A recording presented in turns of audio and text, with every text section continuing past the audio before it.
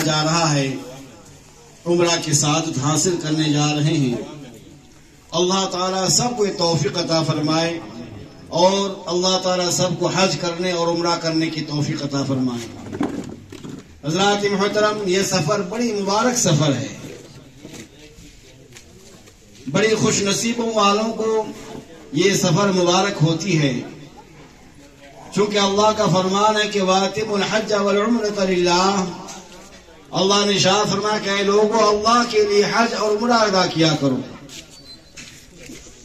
तो एक साहबी आता अर्ज़ करता, या रसूलुल्लाह, क्या अल्लाह ताला ने हर साल हज करने का हुक्म अता फरमाया?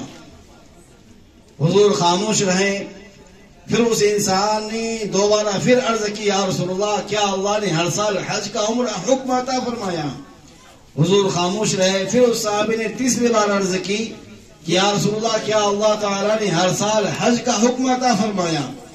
तो प्यारे अकाल सलाम ने इरशाद फरमाया कि हाँ कह दू तो तुम पर हर साल हज फ़र्ज़ हो जाता और ये तुमसे ना हो सकता। इसलिए मैं खामोश रहा। लिहाजा अल्लाह ताला ने ज़िंदगी में एक बार हर मुसलमान को हज की तोहफी अता फरमाता है।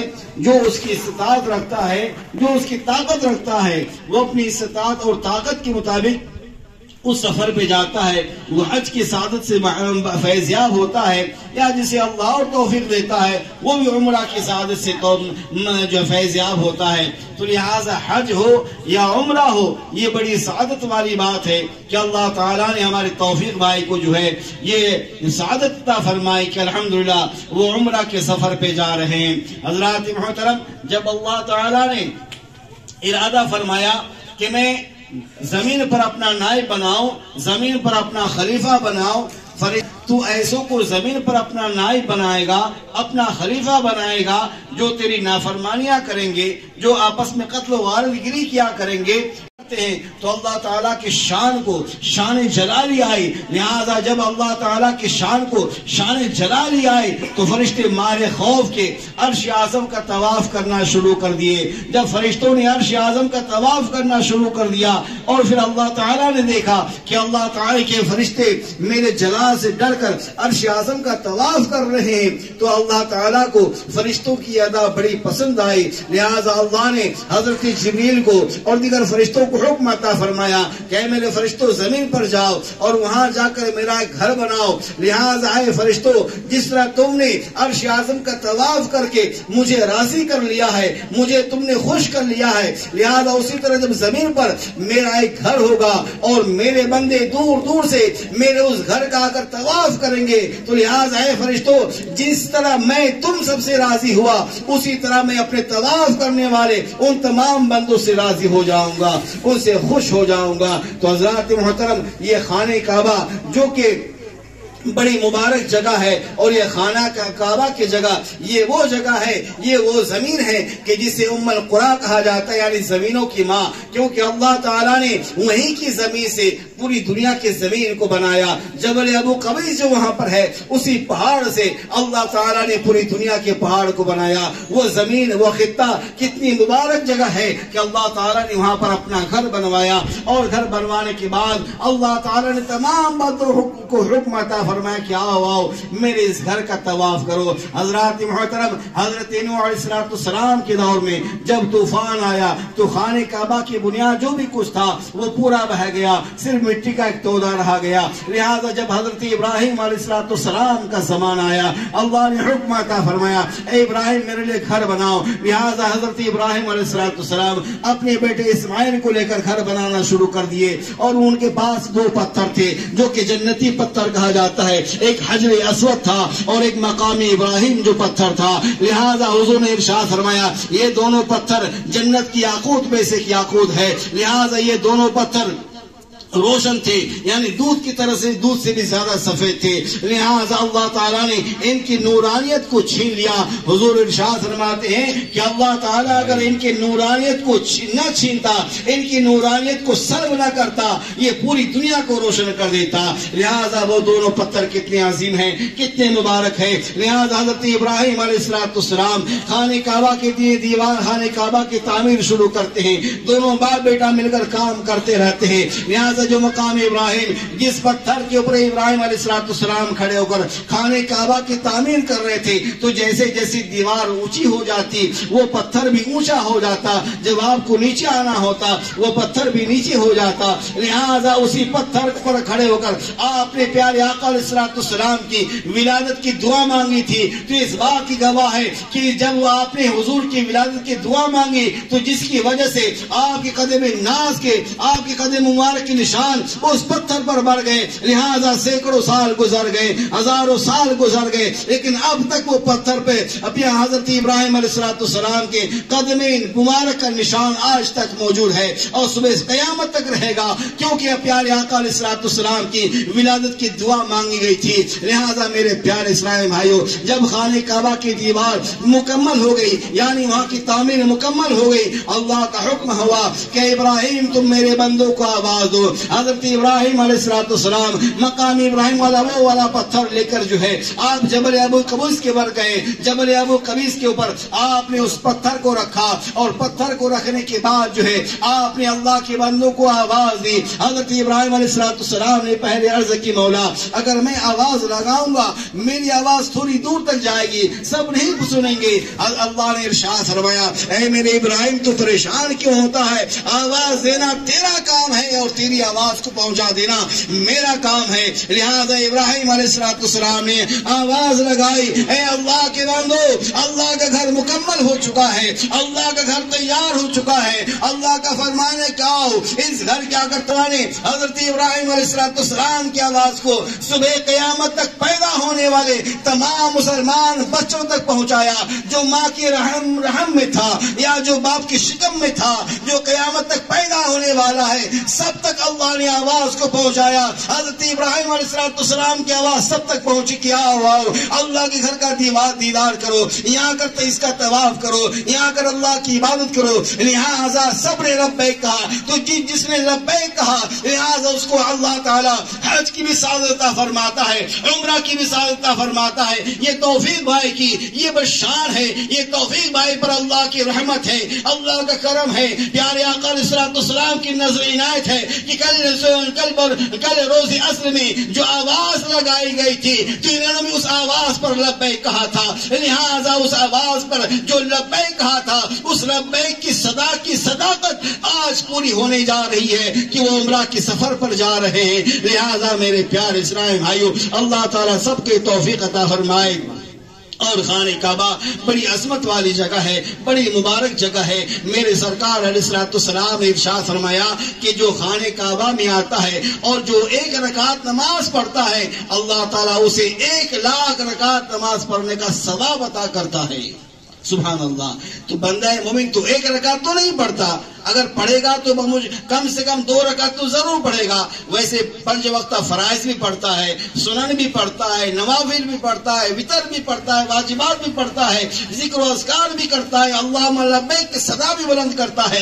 लिहाजा अगर बंदे मुमिन जितनी भी नगा, रकाते नमाज़ पढ़ता है, जितनी भी फराइज पढ़ते हैं तो अल्लाह की शान देखें, अल्लाह की रहमत देखें, अल्लाह ताला अपने घर में आने वालों को, अल्लाह अल्लाह ताला अपनी रहमत से एक रकात के बदले में एक एक लाख रकात नमाज़ पढ़ने का सवाब अता करता है। और मेरे आका सलाम का फरमान यारी शान है कि जब बंद मोमिन, बेहतर तरीके से वज़ू बनाकर जो है खाने काबा के अंदर आता है, उसके हदूद में दाखिल होता है। हजूर ने निशान फरमाया कि जब वो बेहतर तरीके से वज़ू बनाकर खाने काबा के हदूद में दाखिल होता है तो गोया वो अल्लाह की रहमत में दाखिल हो जाता है। फिर हजूर आगे शाह फरमाते हैं कि जब बंदा मुमिन जो है खाने काबा का तवाफ करता है तो तवाफ करने में जितने कदम चलता है, हर एक कदम पर अल्लाह ताला उसे सत्तर सत्तर हज़ार नेकी आता फरमाता है। यहाँ तक के जो है उसके आमाल से सत्तर सत्तर हज़ार गुना माफ़ हो जाते हैं। जन्नत में उसके लिए सत्तर सत्तर हज़ार दर्जे बुलंद किए जाते हैं। और यहाँ तक कि कल क्यामत के दिन जो है अपने खानदान वालों में से उन सत्तर अफराद को जहन्नम से आज़ाद कराएगा। उसे जहन्नम, उसे जन्नत में ले जाएगा कि जिनके गुनाहों की वजह से उन पर जहन्नम वाजिब हो चुका होगा। तो लिहाजा ये वहाँ पर जाकर तवाफ करने वालों की शान कितनी प्यारी शान है कि जो तवाफ करता है, हर एक कदम को अल्लाह कबूल फरमाता है और हर एक कदम के बदले में सत्तर सत्तर हज़ार नेकियाँ आता फरमाता है। और मेरे सरकार सलाम का फरमान आलिशान है कि जो हजर असवद को बोसा देता है तो अल्लाह का हजर असवद जो है, कल क्यामत के दिन अपने चुमने वालों के लिए शफा, उनके शफात के लिए गवाही देगा कह, मेरे परवरदिगार, इन तेरे इस बंदे ने मेरी देह में, मेरा दीदार किया, मुझे चुमा। ए मेरे परवरदिगार, इसके हक में मेरी शफात कबूल फरमा। तो लिहाजा हज असवद को चूमने वाले भी, उसको बोसा देने वाली बड़ी मुबारक है। अगर कोई सलाम भी करता है तो भी चूमने की जमरे में आता है। तो लिहाजा मेरे प्यारे सलाम भाइयों तो जो सलाम करता हो, या जो उसे बोसा देता हो तो हजर असवद जो है, उस बंदे का गुनाह अपने अंदर जज्ब कर लेता है। तो लिहाजा हजर असवद पहले बिल्कुल नूरानी रंग का पत्थर था। बंदों के गुनाहों के जज्ब करके, गुनाहों को चूस चूस करके आज वो पत्थर काला हो चुका है। लेकिन कल क्यामत के दिन वो पत्थर जो है, अपनी बोसा देने वालों के लिए गवाही देगा। और मेरे सरकार सलाम का फरमान आली शान है कि जब बंदे मोमिन खाने काबा में आता है, और जब उसकी पहली नज़र खाने काबा के ऊपर पड़ती है, मेरे सर सरकार ने इर्शाद फरमाया कि जब बंदे की पहली नज़र खाने काबा के ऊपर पड़े और खाने काबा के ऊपर पहली नज़र पड़ते साथ बंदा जो दुआ मांगेगा, अल्लाह ताला उसकी दुआ को कबूल फरमाएगा।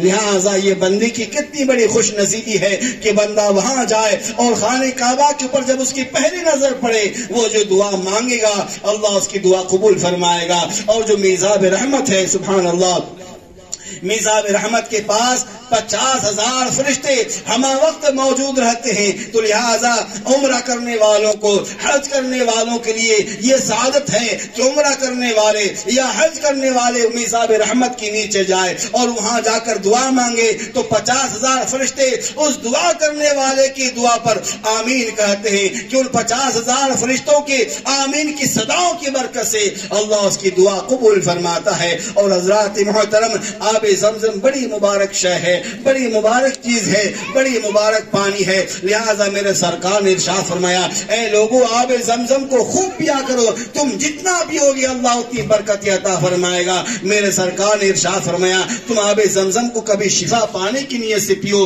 अल्लाह तुम्हें शिफा अता फरमाएगा। मेरे सरकार ने इर्शाद फरमाया, आब जमजम को तुम कभी जो है गुनाहों से जो है तोबा करने या गुनाह मुआफ होने की नीयत से पियो, अल्लाह ताला उसमें भी बरकत अता फरमाएगा। तुम गुनाहों से तौबा कर लोगे, अल्लाह ताला तेरे गुनाहों को माफ़ कर देगा। मेरे सरकार ने शाह फरमाया, कभी तुम आब जमजम को इल्म ज़्यादा होने की नीयत से पियो, अल्लाह तेरे इल्म में और बरकत अता फरमाएगा। हजूर ने इर्शाद फरमाया, कभी हाफजा तेज होने की नीयत से पियो, अल्लाह तेरी हाफजा को तेज फरमाएगा।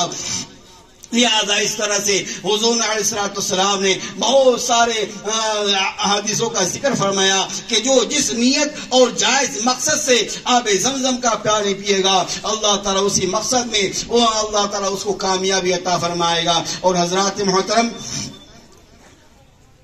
उम्र जो हम अदा करते हैं यह अल्लाह ताला की रजा के लिए होना चाहिए।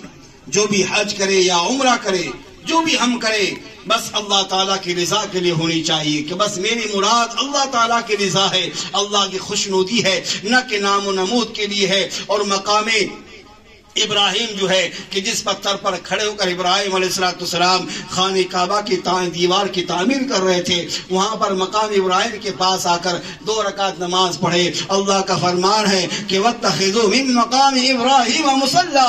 लोगों, यहाँ आकर दो रकात नमाज़ पढ़ा किया करो। तो लिहाजा खुश नसीब हमारे तोफीक भाई भी कि हजर असवद का बोसा भी देंगे। अलहमदुल्ला मकाम इब्राहिम के पास आकर जो है वहाँ पर वहाँ पर आकर दो रकात नमाज़ भी पढ़ेंगे। खाने का काबा का तवाब भी करेंगे और जो है, इनके हर एक कदम को अल्लाह तला कबूल भी फरमाएगा। अल्लाह बैठ की सदा भी बुलंद करेंगे। अल्लाह उस सदा को भी कबूल फरमाएगा। जो नमाजें पढ़ेंगे, अल्लाह वो नमाज़ भी कबूल फरमाएगा। और फिर मकाम अरफात भी जाए। मुजदफा भी जाए, मीना भी जाए, वहाँ जाकर भी नमाजें पढ़े। अल्लाह से दुआ मांगे तो इन ताला अल्लाह ज़रूर दुआ कबूल फरमाता है। अल्लाह की रहमत बेशुमार है। अल्लाह बड़ी शान वाला है। अल्लाह बड़ी बख्शने वाला है। अल्लाह बड़ी बरकत वाला है। उसकी शान की कोई इम्तिहान नहीं। मेरे सरकार सलाम ने इरशाद फरमाया, ऐ लोगो, अगर तुम अल्लाह ताला की अजमत को, उसकी बुलंदी को अगर शान जानना चाहते हो तो एक मिसाल से समझो। साहबा ने अर्ज़ किया अल्लाह वो मिसाल क्या है? मेरे सरकार ने इरशाद फरमाया कि अगर वो अल्लाह की शान, उसकी अजमत को अगर समझना चाहते हो तो तुम एक ऊँचे पहाड़ के पास चले जाओ। उस ऊँचे पहाड़ के नीचे तुम खड़े हो जाओ। फिर अपने आप को देखो और उस ऊँचे पहाड़ को देखो कि वो ऊँचा पहाड़ कितना सीना ताने खड़ा है, कितनी अनुबान शान के साथ वो खड़ा है। और तुम उस पहाड़ के पास तुम तुम कितने छोटे लगते हो। लिहाजा इससे अल्लाह की अजमत का अंदाज़ा लगा लो। ऐ लोगो, अल्लाह ताला के गजब को अगर समझना चाहते हो, एक दरिंदे जानवर को देखो कि वो दरिंदा जानवर दूसरे जानवर झपटा मार के किस तरह उसे चीड़ फाड़ के खा जाता है? इससे अल्लाह ताला की गजब को समझो। लिहाजा फिर हजूर आगे इरशाद फरमाते हैं, ऐ लोगो, अगर अल्लाह ताला की रहमत को अगर समझना चाहते हो, अल्लाह की मोहब्बत को अगर समझना चाहते हो, एक माँ को देखो। वो माँ जो दुनिया के सबसे अच्छी माँ हो, उसके पास सिर्फ़ एक ही औलाद हो तो देखो कि वो एक वो माँ अपनी एक लौती औलाद से कितनी मोहब्बत करती है। लिहाज उस माँ की मोहब्बत का कोई अंदाज़ा नहीं कि वो माँ एक लौते औलाद से कितनी ज़्यादा मोहब्बत करती है। साहबा ने अर्ज़ की यार सोदा उस माँ की मोहब्बत का कोई अंदाज़ा नहीं कि वो माँ अपनी औलाद से कितनी मोहब्बत करती है। मेरे सरकार ने आगे शाह फरमाया, ऐ लोगो, उस माँ से सत्तर गुना ज़्यादा अल्लाह अपने बंदों से मोहब्बत फरमाता है। तो जो रब हमसे इतनी मोहब्बत फरमाता हो, भला वो हमारी नेकियों को क्यों ज़ाहिर फरमाएगा? बस ये है कि हमारा दिल पाक हो, हमारी नीयत पाक हो, हमारे हमारे अंदर खुलूस हो लाहियत हो। हमारे अंदर आजिजी हो, वह इनकी सारी हो। और हज़रत मोहतरम, जब उम्र की तमाम अरकानात अदा हो जाए, फिर वहाँ से आप खरामा खरामा सोए मदीना की तरफ़ जाए और जो है मदीने जाकर वहाँ पर रोज़ अनवर के पास हाजिर हो सलाम का नजराना पेश करे और उसके बाद जो है वहाँ पर मस्जिद नबी में नमाजें भी पढ़े और मकाने जो हजूर सलाम के फरमान के मुताबिक कि हजूर के रोज़े से लेकर मिम्बर तक का जो हिस्सा है वो जन्नत के बागों में से एक बाग है तो वहाँ पर जो नमाज़ पढ़ता है तो गोया वो जन्नत में नमाज़ पढ़कर आता है। तो हमारे तोफीक भाई भी बड़े खुश नसीब है कि वहाँ जा रहे हैं। अलहमदुल्ला वो भी जन्नत से नमाज़ पढ़कर आएँगे। अल्लाह ताला सबको जन्नत जाने की तोफीक अता फरमाए और सबको जन्नत में नमाज़ पढ़ने की तोफीक अता फरमाए। वो जगह कितनी प्यारी जगह है कि हजूर के रोज़े से मिम्बर तक का वह हिस्सा जन्नत के बागों में से एक बाग है। जन्नत के टुकड़ों में से एक टुकड़ा है। वहाँ जो नमाज़ पढ़ा गोया वह जन्नत में नमाज़ पढ़ा और मेरे सरकार की हदी से पाक है। मंजारा कबरी वजबत शफाती कि जिसने मेरे कब्र अनवर की जियारत कर ली तो कल क्यामत के दिन उसके लिए मेरी शफात वाजिब हो गई। सुबह अल्लाह अल्लाह करे कि अल्लाह ताला इनको, हमारे तोहफी भाई को हजूर के सलाम के, रोज अनवर की जियारत नसीब अता फरमाए, ताकि कल क़यामत के दिन हजूर की शफात की, हजूर के शफात से फैजियाब हों। और हम सबको प्यारे आकाम की शफात पर भरोसा है। हम सबको अल्लाह की रहमत पर भरोसा है कि अल्लाह ताला ज़रूर हम सब की बख्शिश फरमाएगा, मगफरत फरमाएगा। हजूर सलाम की एक और हदीस पाक है। कि मंजारा कबरी, फकत हयाती कि जिसने मेरे कब्र अनवर की जियारत की तो गोया उसने मेरी हयात में मेरी जियारत की। तो गोया कि अगर हम हुजूर के रोज़े अनवर की जियारत करते हैं तो गोया हुजूर को हयात, यानी जिंदे में हम हुजूर सलाम का दीदार करते हैं। और हुजूर ने शाह फरमाया कि मक्के में जो नमाज़ पढ़े, वहाँ पर एक रकात के बदले में एक लाख रकात नमाज़ पढ़ने का स्वाब अदा किया जाता है। हुजूर आगे शाह फरमाते हैं कि जो मदीने में आकर नमाज़ पढ़ेगा मस्जिद नबी में तो उसको एक रकात के बदले में पचास हज़ार रकात नमाज़ पढ़ने का सबाब अता किया जाता है। जबकि प्यारे आकाम की एक और हदीस बाक है। हजूर ने इर्शाद फरमा के अल्लाह, मक्के से दुगनी बरकतें हमें मदीने में अता फरमा। मक्के से दुगनी बरकत अल्लाह मदीने में अता फरमा। तो गोया अगर हुजूर सलाम के इस हदीस पाक के मुताबिक अगर देखा जाए, अगर मक्के में एक रकात नमाज़ पढ़ने का सवाब आपको अगर एक लाख रकात मिलता है तो मदीने में, मस्जिद नबी में एक रकात नमाज़ पढ़ने का सवाब आपको दो लाख रकात नमाज़ पढ़ने का अता किया जाता है। क्योंकि हजूर ने दुआ की कि अल्लाह मक्के से दुगनी बरकत मदीने में अता फरमा। तो गोया दुगनी सवाब आपको यहाँ पर अता की जाएगी। तो बहरहाल ये महबूब मुहिब की बात है कि अल्लाह ताला जिसे जो चाहे अदा कर दे, ये उसकी शान है, ये उसका फजल है। ज़्यादा वक्त मैं नहीं लूँगा। बस ये है कि अल्लाह ताला हम सबको ये तोफीक अता फरमाए और अल्लाह ताला हम सबको इसादत फरमाए कि अल्लाह ताला सबको हज करने और उम्र करने की तोफीक अता फरमाए। और सभी कोई इससे फैज याब हो, सब पर अल्लाह की रहमत हो, सब पर अल्लाह का करम हो। अब इन अज़ीज़ दुआ होगी और उसके बाद जो है